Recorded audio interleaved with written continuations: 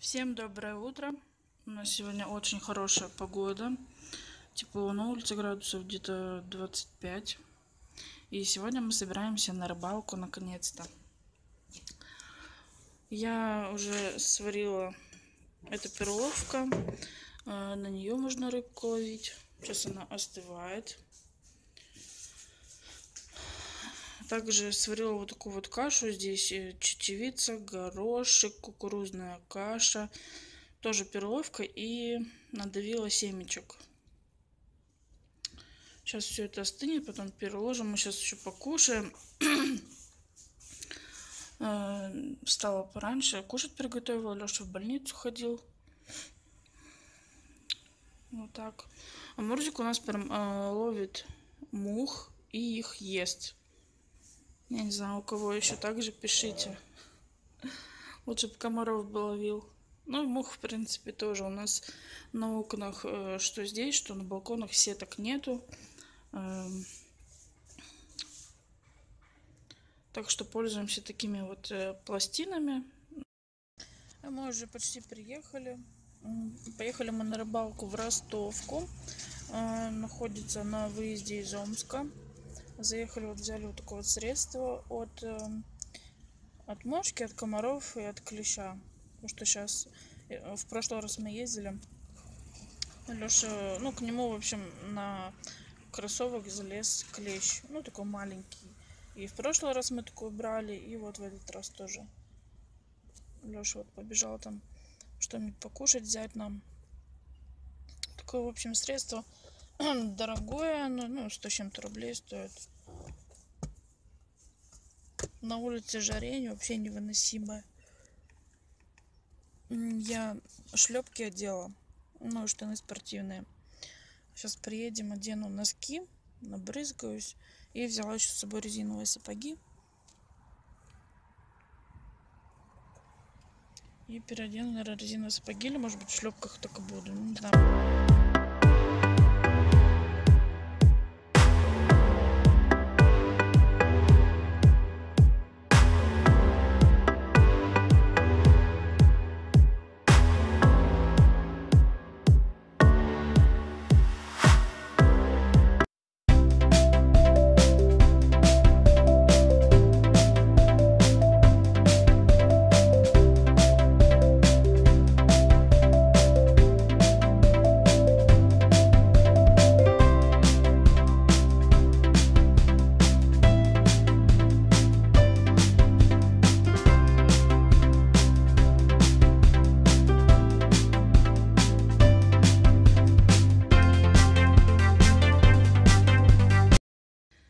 Приехали мы вот на речку. Это река Омка.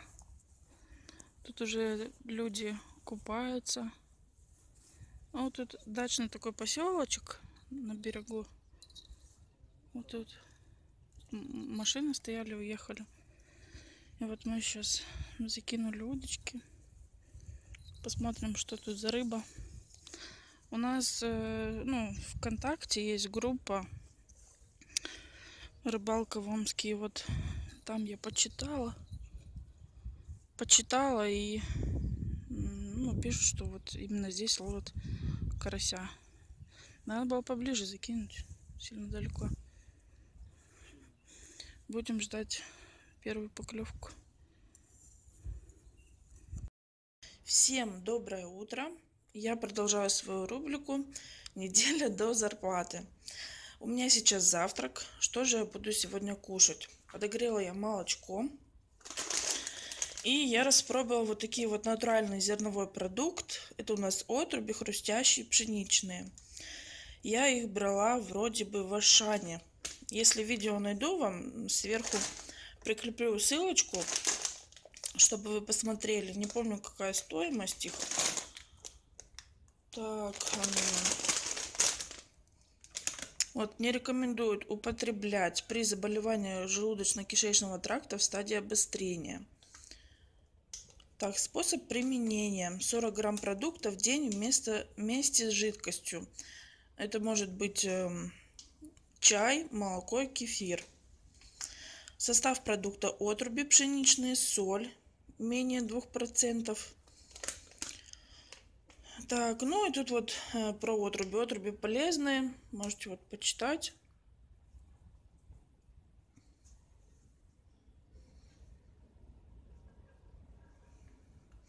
Я их прям распробовала, и с кефиром у меня была прям полная пачка. Сейчас вам покажу, как они выглядят. Вот так вот они выглядят. А, я, в общем, как делала. Вот этот э, кефир у меня был. И еще ацидобифилин. Вот этот вот тоже. Но он мне не понравился, потому что он сильно густоватый. Кефир он все равно пожиже. Э, что я делала? Я, в общем, кефир добавляла вот эти отруби и э, где-то чайную ложку сахара. Все это перемешивала и очень-очень вкусно. Так что, кто еще не пробовал, очень полезный завтрак. И с отрубями можно фруктиков, конечно, добавлять. И клубника сейчас пошла, и банан, и киви. Ну, я сейчас делаю с отрубями. И вот у меня есть еще мюсли здесь какие-нибудь насыплю. Так что всем, ребят, приятного аппетита. А у нас настало время обеда. Я приготовила суп из чечевицы, но буду делать суп-пюре. Здесь у меня чечевица, мяско. А, в общем, у меня было две голени, я их разделила от костей. А, так, что у меня еще? Зажарка, смесь овощей, еще замороженные помидоры были. Все сюда, все выключила. Сейчас он маленько остынет. И буду все перебивать через блендер. И у меня еще осталась зеленая гречка. Э, тоже сделала ее с зажарочкой, добавила. И еще у меня остались в заморозке. Сейчас вам покажу. Как-то Леша брал котлеты. Вот такие вот в Ермолино. Такие вот котлетки.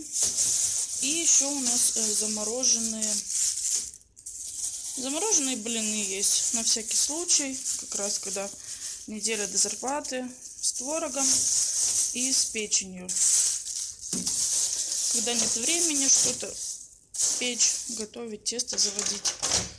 Но сегодня время у меня более-менее есть. Я еще... У меня здесь кусочек дрожжей остался. Не знаю, может быть, э, эти булочки спеку к чаю. Так что всем приятного аппетита.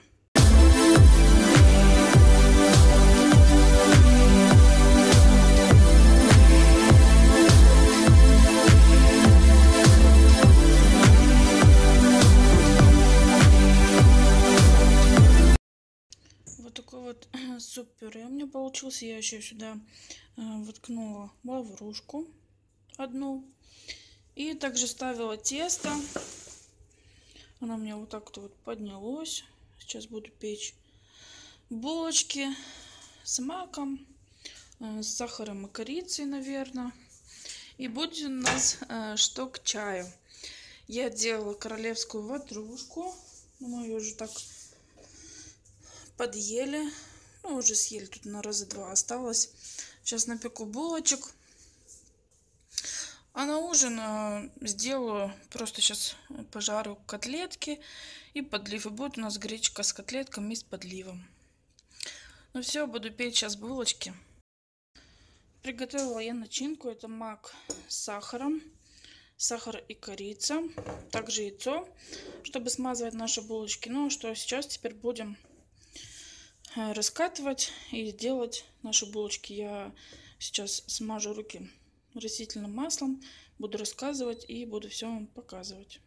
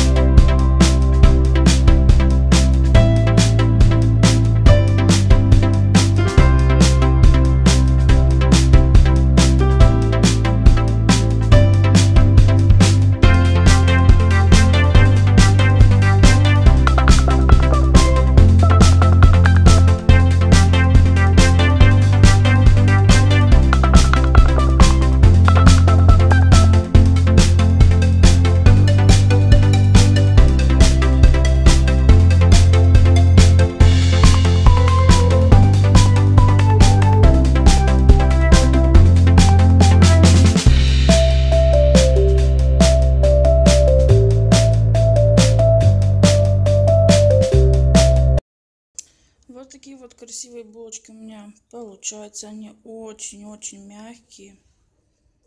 Делала я на живых дрожжах, не на сухих, потому что делая из сухих, у меня тесто, в общем, особо-то и не поднялось. Вот такие вот. Очень мягенькие. Я тут одну уже начала кушать. Вторая партия у меня еще готовится. Все, тесто закончилось. Вот что у нас будет сегодня к чаю.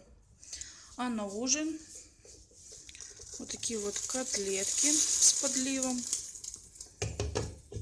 Кому понравилось мое меню, ставьте лайки. Обязательно подписывайтесь на мой канал.